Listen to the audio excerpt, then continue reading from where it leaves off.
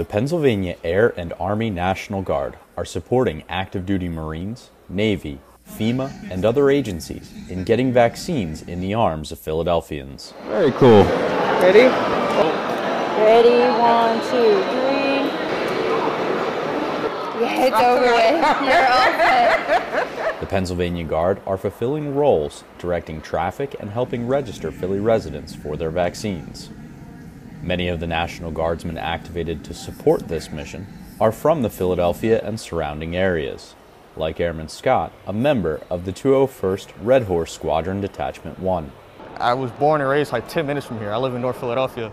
And uh, for the most part, uh, I just recently came back from basic training in my tech school. So being able to contribute the vaccine, make sure everybody gets it done. Seeing family members come through here, seeing people that I know getting vaccinated, making sure we get these numbers down with COVID is very important. So. The Philadelphia Center City Vaccination Center has already provided over 100,000 Philadelphians with their first dose of the Pfizer vaccine.